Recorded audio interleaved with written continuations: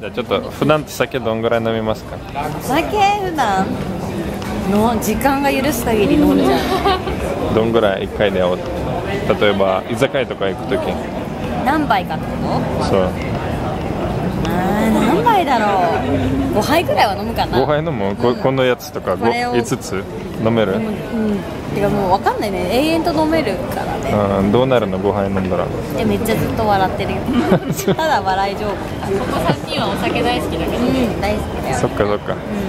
じゃあ1週間どんぐらい飲んでる？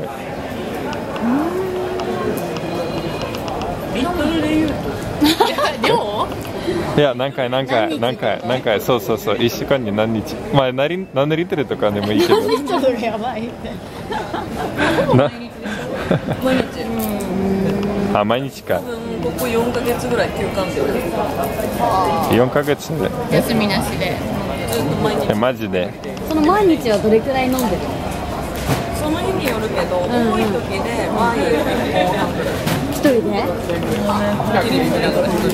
一人で家でベロンベロンになって記憶なくすぐらいだから。楽しそうやばい。マジで？全然えー、なんか誰か呼びたくなったりしないの？なんかねそれはない。えー、もう一人で飲んでるのも楽しい。テレビ見てテレビの夜のニュースのお姉さんがこんばんはザー 楽しそう。意外と想像つくっていうでもあなんだっけ？アルコホリックならないの？アルコホリック。アルコホリックならない？もう酒飲まないと生きていけないとかの人。ある中あアル中アル中。あのなななりそう？もうなりそう？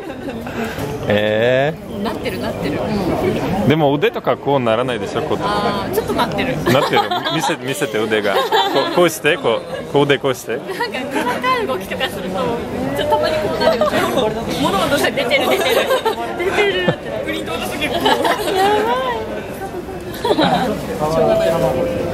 ねなんか日本人ってよく酒飲んでるね。普通に考えたら。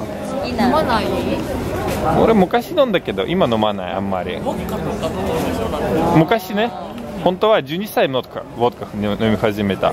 12歳12歳12歳そう。でも17もやめた。17歳今何歳？今30 30? 30歳えでも何何飲むのはビールの以外なんか飲む？ワイン。とか。焼酎。あ焼酎も飲む？え生で？そのまま。る割る割る。よくお茶で割ったりとか。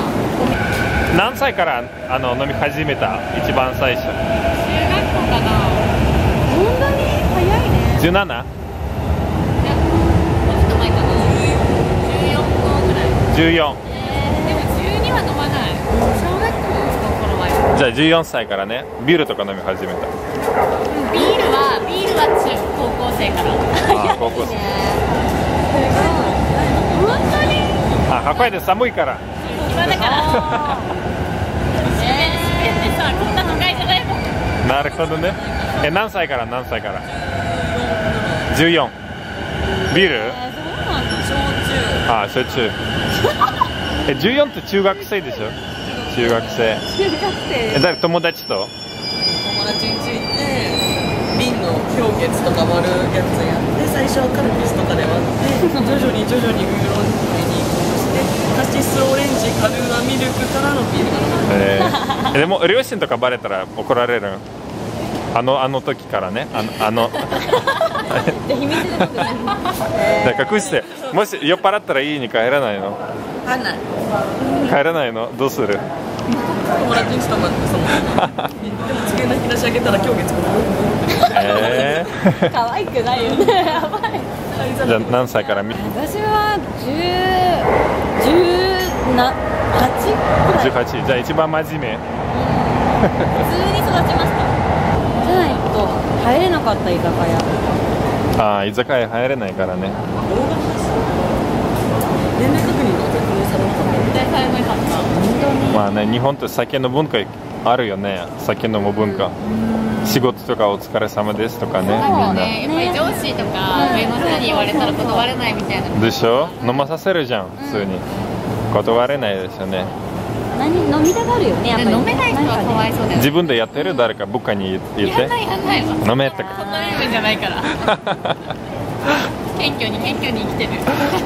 なるほどね。飲んでい喜んでいく酒好きだから